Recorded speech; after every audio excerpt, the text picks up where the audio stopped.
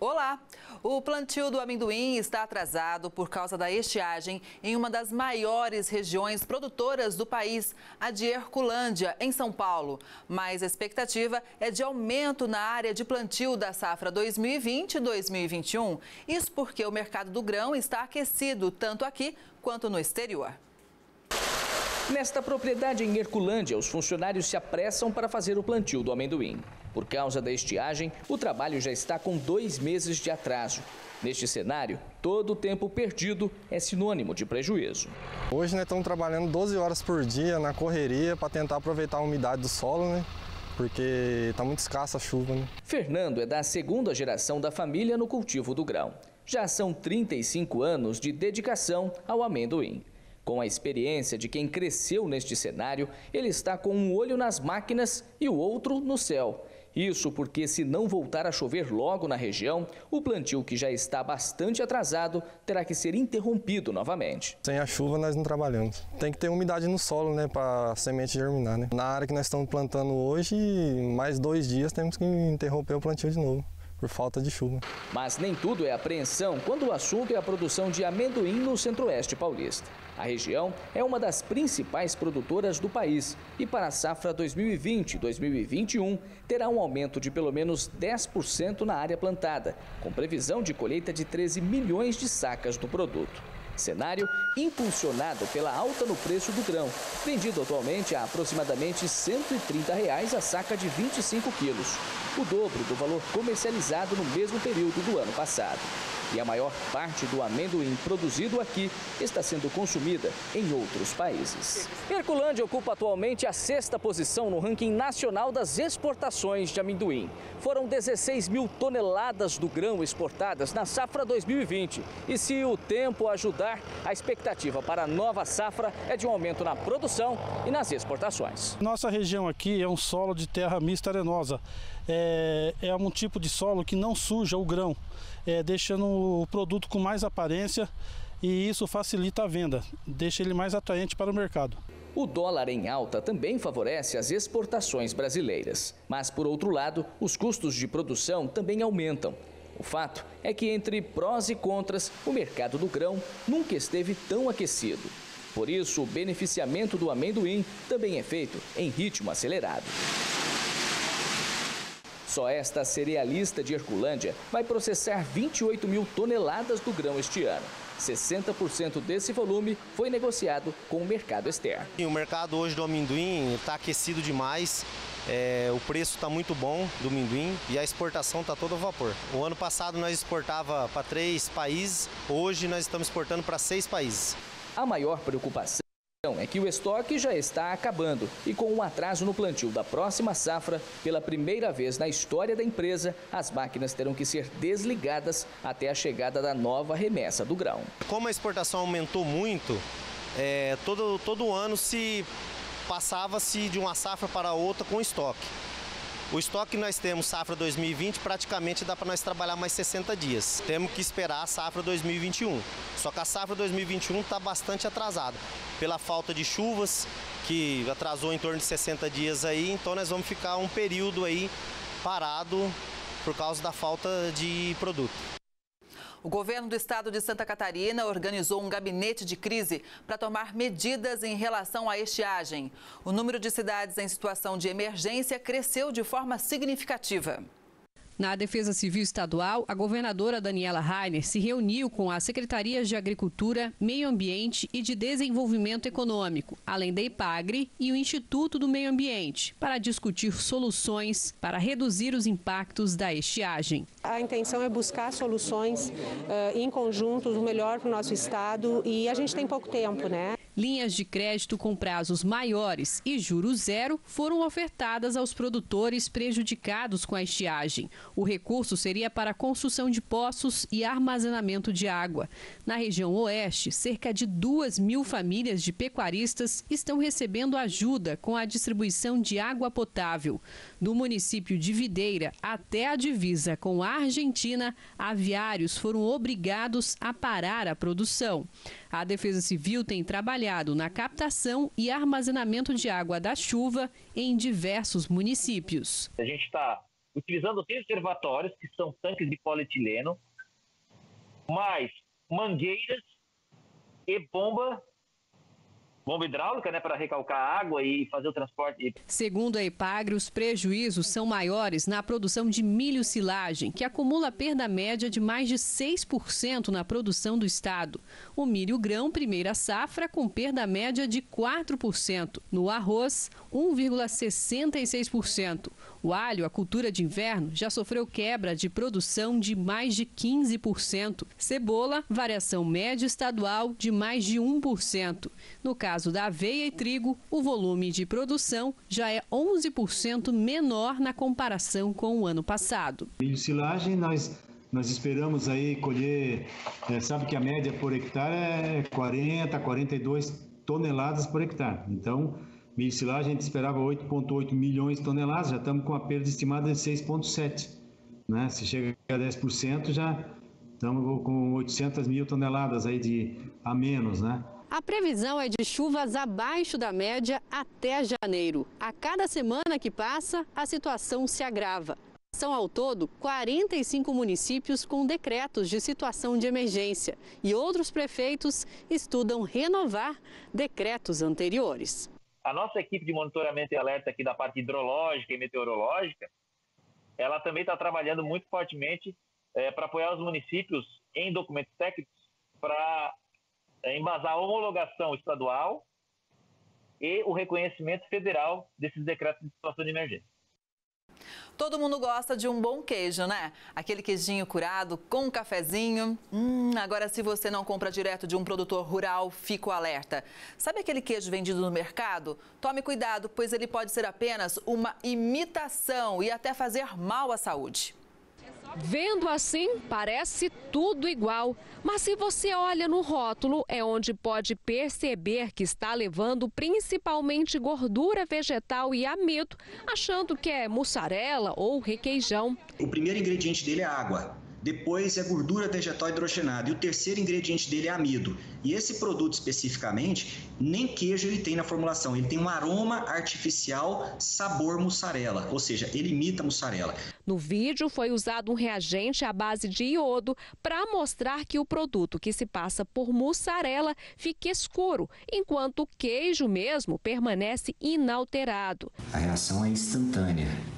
Olha a coloração do produto o queijo de verdade o produto nem mudou de cor. Esses produtos que se passam por queijos, requeijões, à base de gordura vegetal e amido de milho, são mais vendidos em atacadões, lugares onde donos de pizzaria e também de lanchonetes fazem as compras. Nós temos um produto que provavelmente tem amido, né, que é uma farinha, e saborizado com corante e com, com a, produto artificializado do sabor. E eles são péssimos para a saúde. Né? E o consumidor consumidor desavisado acaba caindo numa armadilha, porque ele está comprando um produto muitas vezes do mesmo valor ou um pouquinho mais barato, mas que não tem significado nutricional, só faz mal para a saúde, não tem vitamina, não tem minerais, não tem nada saudável nesses ultraprocessados. A empresa goiana de assistência técnica e pesquisa agropecuária, a Emater, descobriu uma praga que tem prejudicado as plantações de pequi. Em alguns casos, pode até matar o pequizeiro. A praga é uma lagarta que provoca uma broca, que pode causar a morte do pequizeiro. Trata-se de uma broca que ataca o tronco e chega até as raízes da planta, construindo galerias dentro do tronco do pequizeiro e das raízes e leva a árvore à morte. Tá? É, essa praga tem passado despercebida pelos coletores de frutos, mas os sinais mais claros da ocorrência dessa praga no piquezeiro são as entradas das galerias no tronco, principalmente próximo à base da planta, e as fezes que você encontra junto ao tronco na base do piquezeiro. Quando a lagarta está maior, essas fezes ocorrem em maior quantidade. Os primeiros registros da broca do tronco do pequizeiro ocorreram em Minas Gerais, onde pesquisadores tentam identificar a espécie da lagarta que provoca a doença na planta.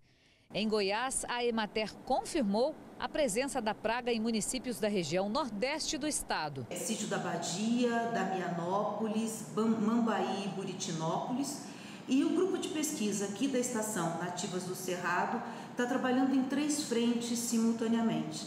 A primeira é monitorar e mapear a ocorrência da praga aqui no estado. O trabalho com a biologia da praga, que está sendo conduzido aqui no Laboratório de Entomologia e Controle Biológico, e a busca por alternativas de controle para essa praga, alternativas emergenciais de controle. A Emater pede que os produtores de piqui do estado eles fiquem atentos então a esses sinais que seriam as galerias e principalmente as fezes na base do tronco do piquizeiro e que busquem as orientações é, nos escritórios locais da Emater. Goiás é o terceiro maior produtor de pequi do país, ficando atrás do Tocantins e Minas Gerais. Mas aqui não há lavouras de pequi. A maior parte da colheita é feita em áreas de cerrado nativo. No ano passado, a extração no estado foi de aproximadamente 2,3 toneladas. Mas este ano há uma estimativa de que haja uma redução na oferta por conta da estiagem prolongada e das queimadas. De acordo com os dados da Anfavea, a produção de caminhões teve um salto de 15% no mês passado. O relatório aponta que foram fabricados no país 10.092 unidades em outubro, enquanto em setembro foram pouco mais de 9.400 unidades. No acumulado dos últimos 12 meses, a produção já atinge mais de 68 mil unidades. Os cafeicultores têm enfrentado problemas na atual safra. Tanto a arábica quanto o robusta têm dificuldades no desenvolvimento dos cafezais. Veja. Segundo o CPEA, os negócios envolvendo café arábica seguem em ritmo bastante lento no país. O alto percentual da safra 2020-2021 já negociado, o clima, visto que as chuvas continuam abaixo do esperado, e o desenvolvimento preocupante da safra têm levado vendedores a adiarem os negócios. Já quanto ao café robusta, a liquidez no mercado tem sido superior ao arábica, especialmente devido ao dólar valorizado dos últimos meses e à elevação dos preços externos no mês passado. No campo, em Rondônia, há problemas no pegamento e na formação dos chumbinhos, dado o clima seco e quente das últimas semanas. No Espírito Santo, por outro lado, o quadro é mais favorável, com melhores condições fisiológicas dos cafezais. O Brasil é líder mundial em exportação de carne. Diante desse cenário, o setor pecuário tem que investir em tecnologia para manter a competitividade no exterior e também aqui no mercado interno. Você vai conhecer agora um sistema de criação estratégico que oferece maior produtividade e oportunidade de negócios ao criador. Durante os períodos de seca, o pasto fica escasso. Uma das alternativas para engordar o gado é o confinamento. O sistema de criação é usado nesta fazenda que fica bem próxima da área urbana de São José dos Campos. Os pastos da fazenda acabam sentindo um pouco, né, acabam não crescendo na velocidade desejada e, por consequência, o animal acaba perdendo peso. Para que se tenha uma ideia, na época de seca, o animal no campo ele ganha, ele perde, melhor dizendo, 200, 300 gramas. Ao passo que no confinamento ele chega a ganhar até 2 quilos por dia. No sistema de confinamento, os animais ficam em espaços próprios para essa finalidade. Os alimentos são fornecidos no coxo, que precisa estar corretamente dimensionado. A recomendação é que para cada cabeça animal adulta no confinamento, você deva respeitar uma metragem mínima de 40 centímetros a no máximo 70 centímetros. E nós colocamos em nossos currais a metragem máxima recomendada, que é 70 centímetros, para evitar que, que tenha disputa na alimentação, de forma que todos pô, consigam chegar na mesma hora e consigam se alimentar igualmente. O gado, que antes era acostumado a se alimentar no pasto, no confinamento recebe alimentos que ajudam a aumentar a gordura do animal.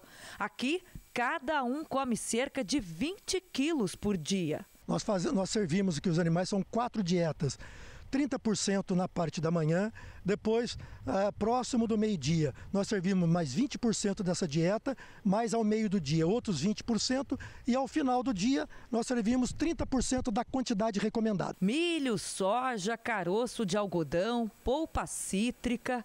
E tão importante quanto os alimentos é a água, que deve ser oferecida em bebedouros. Se você não tiver a água no clima ideal, a água limpa, esse animal ele deixa de comer e, portanto, ele deixa de ganhar peso. Então, ambos protocolos são importantíssimos. A dieta no, no coxo quanto o bebedouro de água. Outras técnicas ligadas ao manejo são essenciais, como separar os animais no curral em quantidade ideal para que eles fiquem confortáveis, em harmonia e sem brigas. Tem os animais dominantes, tem os animais que são dominados. Então, se você colocar até 120 animais, eles conseguem se reconhecer e, portanto, estabelece a hierarquia e eles ficam em harmonia durante esse tempo no confinamento. Por ano, o país abate cerca de 40 milhões de cabeças de gado. 80% do rebanho vai para o mercado interno e apenas 20% para o externo. E ainda assim, o Brasil continua líder no mundo nas exportações de carne.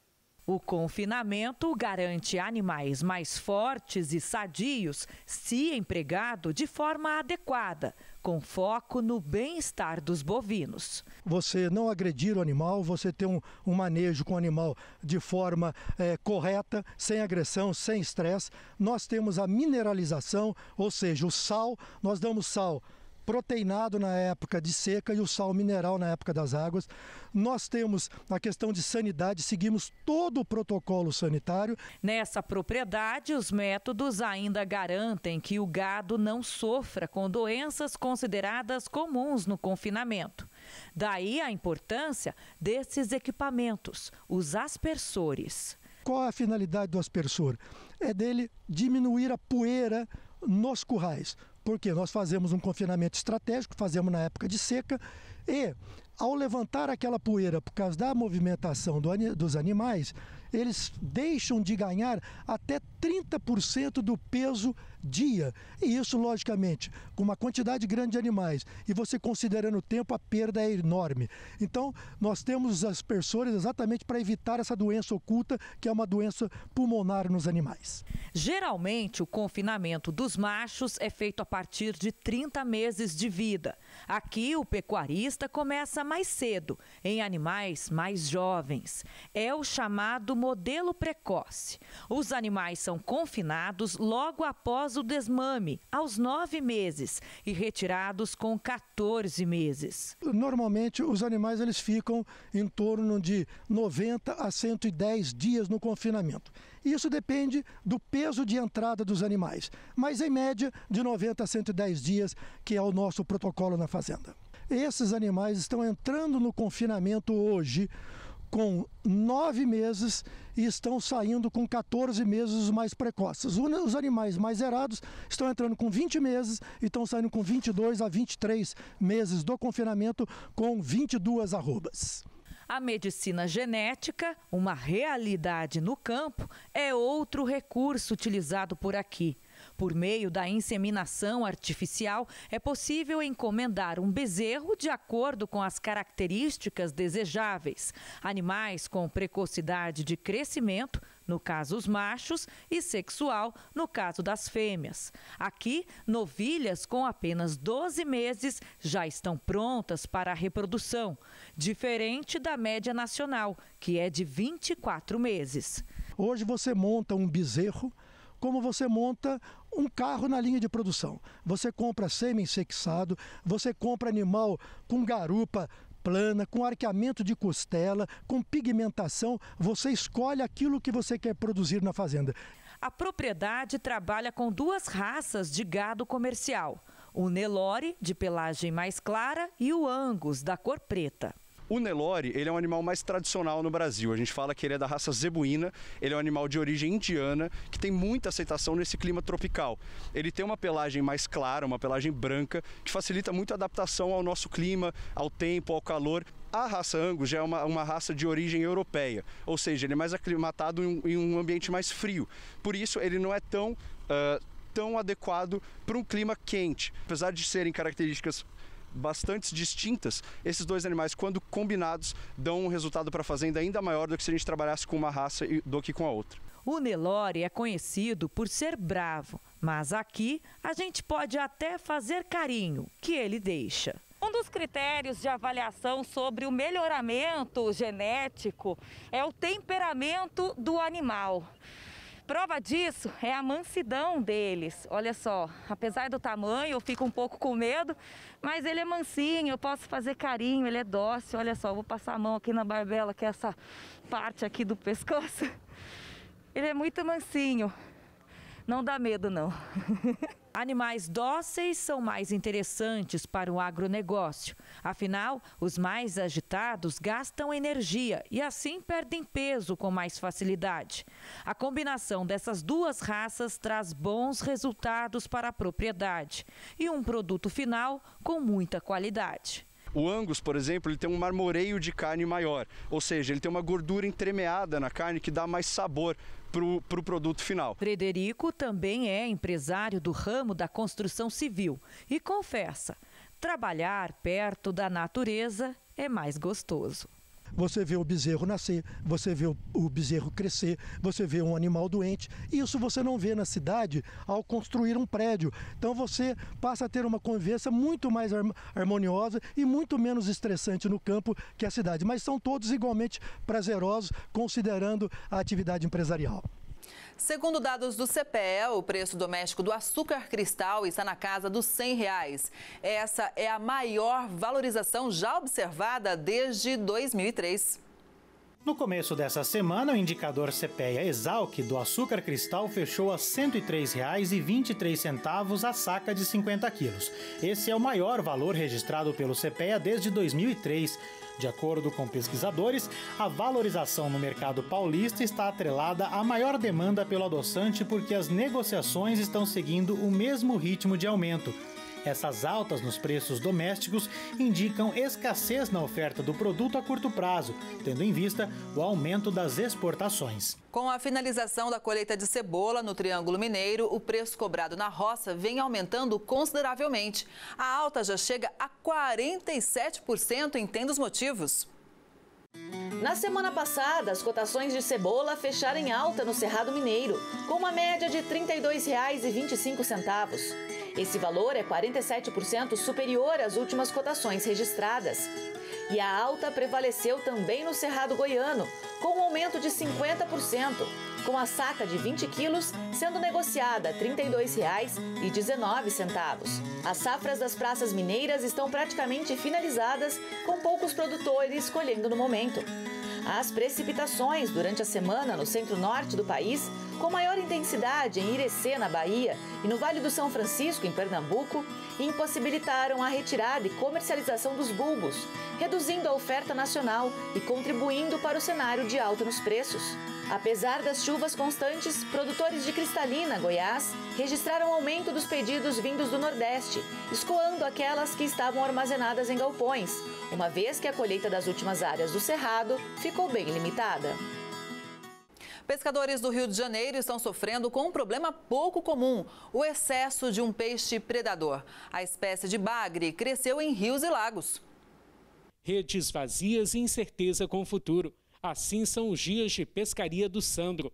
A crise é uma das piores em quase 20 anos de profissão. Depois da cheia, apareceu o bagre africano, em muita quantidade no rio, entendeu? Aí come os outros peixes, come os alimentos dos outros peixes, entendeu? E acaba sumindo os outros peixes, as outras espécies. Nos barcos, desafios para capturar os peixes. São 90 pescadores artesanais que sofrem com impacto ambiental. Os cardumes dos lambaris são os mais atacados.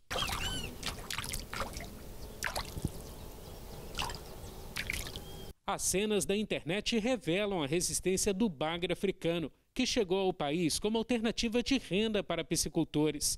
Mas a carne escura e de sabor marcante não agradou os paladares dos consumidores.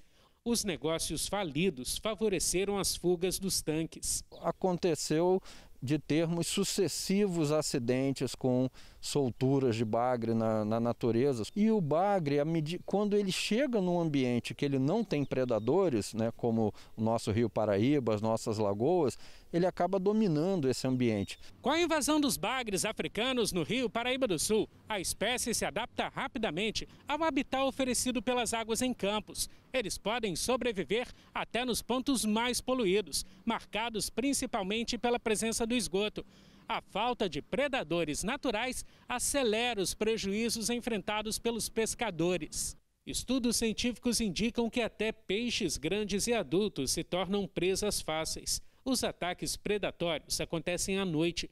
Antigos problemas como o assoreamento e a falta de repovoamento com alevinos pioram todo o cenário ao longo do leito. O bago africano, ele para nós aqui é prejuízo.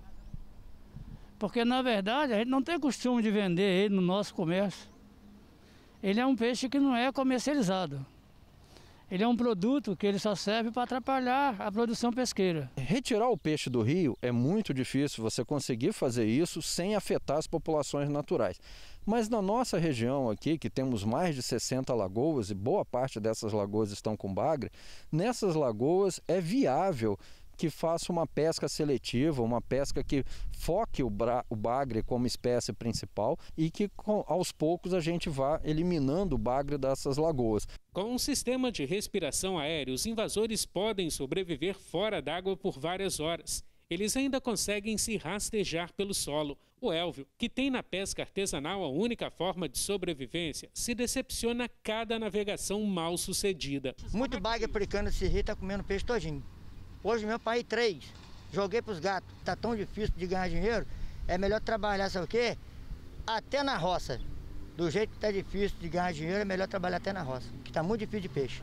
Novembro começou trazendo preocupação ao agronegócio brasileiro. Com a segunda onda de coronavírus na Europa, as exportações devem ser afetadas. Diversos países europeus iniciaram o mês de novembro adotando oficialmente o lockdown devido à segunda onda de Covid-19 no continente. E apesar de ser mais branda do que a observada entre março e abril deste ano, a medida já tem preocupado exportadores de frutas brasileiros. De acordo com informações da equipe do HF Brasil, muitos não dependem apenas das redes varejistas para negociar, mas também de outros comércios mais afetados pelo isolamento social, como por exemplo os restaurantes e hotéis. Por enquanto, as exportações de frutas seguem positivas, segundo a maioria dos colaboradores, embora algumas reduções nos embarques já tenham sido relatadas. A tendência, claro, é de baixa nas próximas semanas. Pesquisadores de Santa Catarina estão ampliando os estudos para a produção de tilápias no litoral norte. O objetivo é desenvolver uma linhagem que melhor se adapte ao nosso clima. A poderosa da água doce. A tilápia é o pescado mais cultivado no país. O Brasil está entre os maiores produtores do mundo. Ocupa o quarto lugar. O ranking é liderado pela China. A tilápia também é o segundo peixe mais cultivado do planeta. O primeiro é a carpa. Por aqui destacam-se polos de cultivo no Paraná, São Paulo e Santa Catarina. O estado catarinense amplia pesquisa para desenvolver uma linhagem de tilápia mais adaptada ao clima da região. O trabalho é feito pela Epagre, na cidade de Itajaí, espaço que nossa equipe visitou. Nós estamos num ambiente é, subtropical, um pouco mais frio, e a tilápia ela é originária de um país tropical. E ela, essa linhagem gift né? A gente trabalha com a espécie que é a tilápia do Nilo, né? que é uma espécie é, tropical e a linhagem Gift foi desenvolvida em países tropicais. Então, a temperatura ótima dela de crescimento na água é 26, em torno de 26, 28 graus. Né? E a gente aqui no inverno a gente chega a temperaturas de 12 graus na água, até mais baixo. Então a gente mantém é, a seleção dos melhores com melhor desempenho nas condições aqui clima, nossas climáticas, né? A intenção é oferecer aos produtores de alevino as melhores tilápias do Nilo, da geração Gift. Essa é uma linhagem de mais qualidade que chegou no Brasil em 2005, importada da Ásia. Hoje, Santa Catarina é referência em tecnologia e qualidade de produção. No processo do melhoramento genético, né, a gente mantém é, algumas famílias de, de tilápia separadas, então a gente faz o acasalamento dessas famílias e aí a prole dessas famílias, os filhotinhos né, dessas, de, de cada família, A gente faz a levinagem, que a gente chama, né, de, de pós-larva até um alevino juvenil de umas 10 gramas, 10, 15 gramas. Aí a gente consegue fazer a marcação individual desses animais e depois de marcar, fazer a marcação individual, a gente consegue juntar todos os animais de diferentes famílias para realizar a engorda e a seleção desses animais. Com os, com a marcação individual, a gente consegue obter o dado exatamente daquele indivíduo, né? Durante todo esse processo de seleção. A Epagre abastece o início da cadeia com a produção dos alevinos. Comercializa matrizes de qualidade com melhoramento genético. Há 15 anos, o máximo que a tilápia chegava eram 500 gramas. E isso mudou após muitas pesquisas. Na safra de 2018, a piscicultura de água doce catarinense produziu 47 mil 950 toneladas. Os produtores profissionais são os responsáveis por 70% desse montante. Os municípios com maior produção foram Rio Fortuna, Massaranduba, Ituporanga, Armazém e Joinville. E antes de encerrar essa reportagem, deixa eu apresentar para vocês uma funcionária dedicada da Epagre de Itajaí. Gift. É, ela tem mesmo o nome da linhagem da tilápia. Durante toda a entrevista, ela estava ali, acompanhando a nossa conversa e fica de olho quando puxam o peixe da rede. Faz quatro anos que ela é xodó aqui. O zelador Silvio diz que a bichinha é geniosa. É difícil, às vezes a gente deixa um pouco aberto lá, não tem? E vai tratar e entra um socorro aqui. E aí a gente para correr, o socorro para cá, a gente morre, chama ela, então ela vai seguindo até cansar e conseguir tirar ele. É a guardiã das tilápias, É, então. é guardiã, guardiã. Ajuda bastante. Os preços da cenoura já começaram a semana em alta. Em São Gotardo, em Minas Gerais, a caixa de 29 quilos fechou em 27 reais, um aumento de 39%. Após algumas semanas de estabilidade, o mercado reagiu em São Gotardo, Minas Gerais, e o preço da cenoura subiu. De acordo com a equipe do Hortifruti Cepea, as raízes foram comercializadas por R$ 27,00 a caixa de 29 quilos, um aumento de 38,5% frente à semana anterior. Segundo colaboradores, o motivo desta alta está na colheita, visto que as áreas da safra de inverno diminuíram neste ano. As chuvas na região de Cristalina, Goiás, também contribuíram para o menor volume disponível de cenoura, fazendo com que agricultores de outras regiões busquem pelas mercadorias do Cerrado Mineiro. O preço do milho voltou a apresentar queda na região de Campinas, em São Paulo, uma baixa de quase 1%. Pode parecer pouco, mas essa queda vem justamente depois do valor recorde observado no fim do mês passado. Nesse início de mês, os preços do milho vêm registrando comportamentos distintos dentre as regiões produtoras do grão. Segundo pesquisadores, em São Paulo, compradores estão mais ausentes, resultando em pequenas quedas nos preços. O indicador Exalc na região de Campinas, em São Paulo, depois de subir por semanas consecutivas e atingir recorde real no final de outubro, voltou a cair nesse começo de novembro. O recuo é de 0,7% na parcial do mês, a R$ 81,32 a saca de 60 quilos. Nos portos, a desvalorização do dólar também pressionou as cotações. Já nas demais regiões, a baixa disponibilidade mantém os valores do milho em alta. A única produtora de carne de pato da América Latina fica aqui no Brasil, no Vale do Itajaí, em Santa Catarina. A empresa exporta para cerca de 20 países e agora retomou as exportações para a Arábia Saudita. No Brasil, o consumo da carne de pato ainda é pequeno se comparado a outros países. Por aqui, a média por ano é de 20 gramas por brasileiro. Nos Estados Unidos, o número sobe para 200 gramas. Na França, 1 quilo por habitante anualmente. E na Ásia, o maior consumidor do mundo são 2 quilos por pessoa ao ano. O consumo de pato no mundo ele cresce de 4 a 5%. Em anos bons, né, onde que a economia pujante no Brasil, a gente chegou a crescer até 20% ao ano. E agora, com a pandemia, infelizmente, a gente amargou, está amargando o ano ainda de, de baixa, né, mais ou menos uns 20%. Sendo que abril, maio e junho foram os piores meses. Nós estamos na única produtora de carne de pato da América Latina. Por aqui, 70% da produção é destinada para outros países. E se tratando de exportação, o animal é o mesmo. O que muda são os cortes de acordo com cada local. No Oriente Médio, por exemplo, o animal é vendido sem os miúdos e sem a cabeça, somente com a carcaça. Assim como na carne bovina, no processo de separação da carne do pato, todas as partes são utilizadas, inclusive a gordura abdominal, que é retirada para preparos especiais em restaurantes franceses. Mas antes de chegar até a mesa, há um longo processo, começando pela importação das matrizes, ou seja, os ovos férteis. Esses ovos eh, são direcionados, transportados aqui para a unidade de Indaial, onde a gente tem a, o incubatório. Depois de 28 dias nascem os patinhos.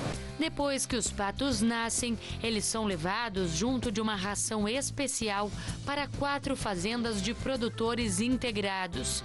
Os animais são cuidados e alimentados por 40 dias, até chegarem ao peso de 3 quilos.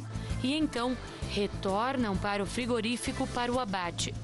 São aproximadamente 10 mil aves abatidas por dia e elas passam por um processo especial para que sejam respeitadas as tradições religiosas de alguns países consumidores que o abate, então, ou ele recebe um atordoamento, é, ou ele é abatido sem choque de acordo com os preceitos islâmicos, porque a gente também exporta né, muito para o Oriente Médio.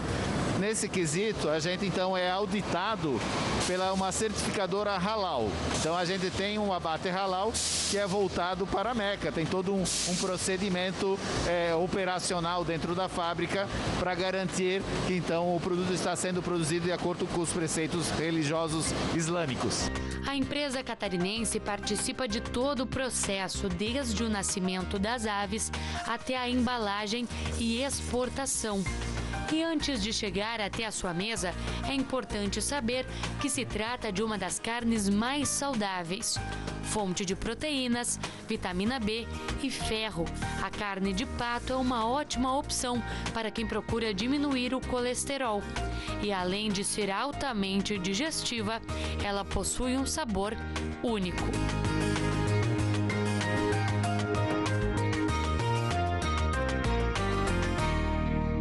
As exportações de limão continuam quebrando recordes. O volume exportado até outubro já ultrapassou todo o volume embarcado no ano passado. Mas a segunda onda de Covid-19 na Europa deve barrar esse bom momento de embarques internacionais. As exportações de limão seguem em bom ritmo neste ano, segundo dados da Secretaria de Comércio Exterior. De janeiro a outubro, os envios já são superiores ao recorde embarcado durante todo o ano de 2019. O volume total é de pouco mais de 105 mil toneladas e a receita nesses 10 meses está em quase 90 milhões de dólares. Mesmo com a pandemia do coronavírus, os números conseguiram se manter em patamares satisfatórios. Contudo, segundo informações da HF Brasil, para este mês, os números podem fechar em queda por causa da segunda onda de Covid-19 na Europa, que é o principal destino da fruta brasileira. Exportadores, aliás, relatam que alguns pedidos já estão sendo cancelados. Goiânia sediou o campeonato de manga larga marchador. Por conta da pandemia do novo coronavírus, o evento foi menor e teve transmissão online. Quem foi conferir de perto e traz todos os detalhes para a gente é a repórter Juliana Pertilli.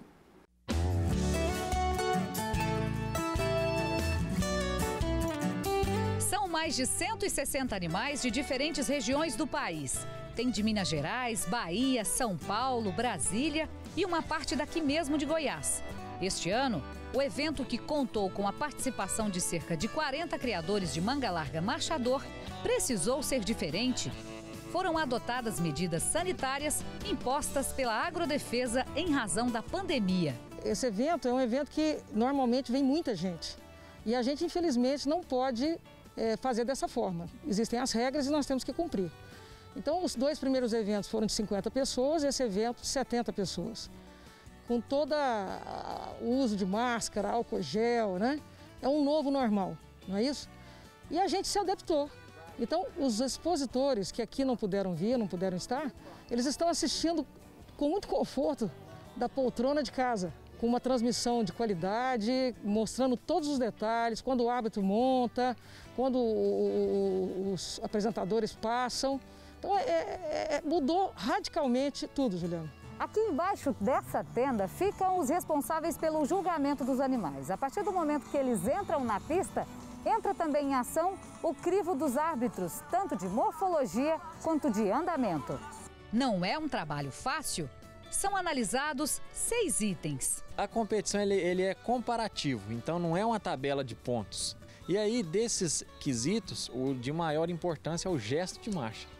O gesto de marcha, a gente ainda consegue dividir ele né, em, em dois sub-itens aí, que é a distribuição dos apoios, né, é como que o animal é, distribui os quatro membros ao solo quando ele está andando e a qualidade do movimento. Tem que ter cara de mangalaga machador, né? Isso é fundamental. E associado a isso, vem na sequência de mais importância, membros bons, tronco bom e boa direção de frente. Renato Pedrosa trouxe a égua Dade Cevita de Brasília, que levou o título de campeã na categoria andamento de marcha picada, morfologia padrão. E, segundo o criador, o animal é avaliado em torno de 100 mil reais. Ah, essa faixa aqui de campeã valoriza o animal, né? As pessoas entram lá no, nos, nos, no currículo do animal e vê a faixa de campeã aqui em Goiânia. Já a égua Xepa do Marilisa vai levar para a Lusiânia dois títulos. Lucratividade para o criador. É uma emoção muito grande que tem pouco tempo que a gente está treinando essa égua para competição no CTE Toca do Baiano, em Lusiânia. E a emoção de vir para a Copa, estava esperançoso, que a égua de muita qualidade, a gente tinha muita confiança nela, a gente tem muita confiança nela. E chegar aqui e ser campeã das campeãs, grande da raça, é inexplicável. Eu não esperava o, o, ela surpreender com esse título. Satisfação e reconhecimento do trabalho do Pablo, treinador do animal. Muito emocionante eu trazer a Xepa aqui e ela corresponder, vem correspondendo no trabalho em casa, chega aqui, ela dá uma confirmadinha com todos os vírus aí. Uma bióloga adotou uma ovelha como animal de estimação. O bicho adora pão com manteiga e faz sucesso nas redes sociais. Hora do café da manhã, porque tem gente com fome. E o primeiro pão na chapa do dia vai para a Lula. Vem, tô.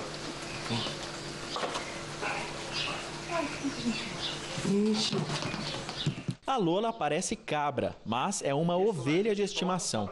É que em Ribeirão Preto faz tanto calor que os donos preferem tosar a Lola a cada duas semanas.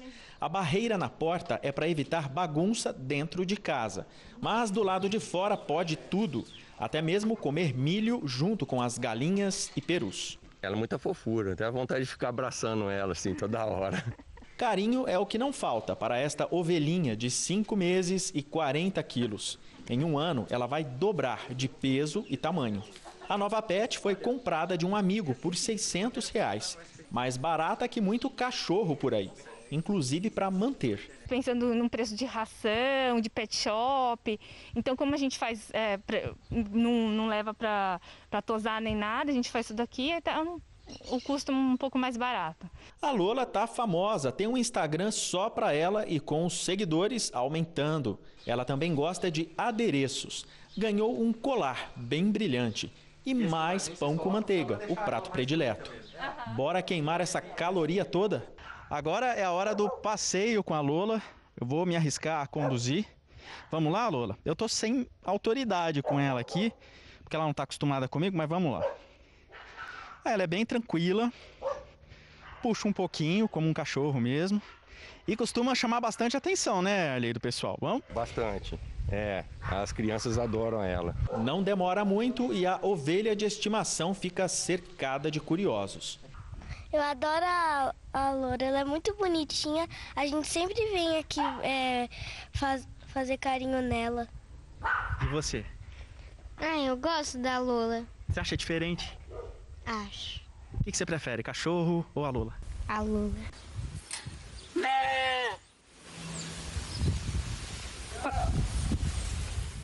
O Record News Rural de hoje vai ficando por aqui. Muito obrigada pela sua companhia e audiência. Até a próxima.